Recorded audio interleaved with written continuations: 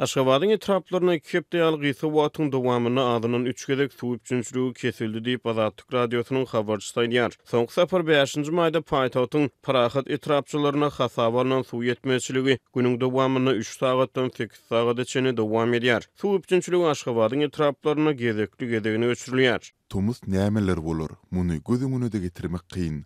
Bu aralykda suwlar kesilende alternatiw suw üpjünçiligi ýola goýulmaýar. Öňler iň bolmanda suw daşaýjy ulaglar gelerdi.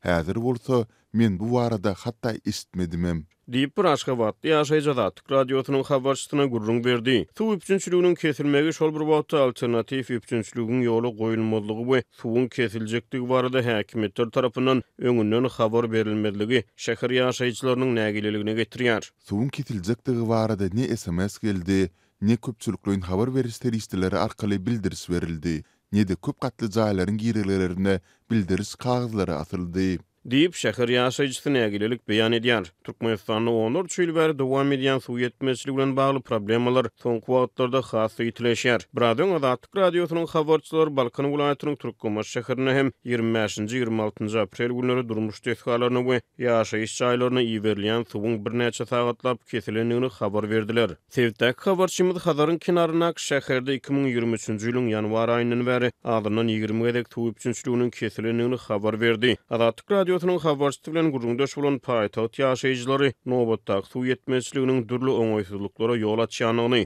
gündelik durmuşy bökdeýändigini aýdýarlar. Biz takmynan segsen, ýüz litr töweregi ätiýaç suw alyp goýýarys.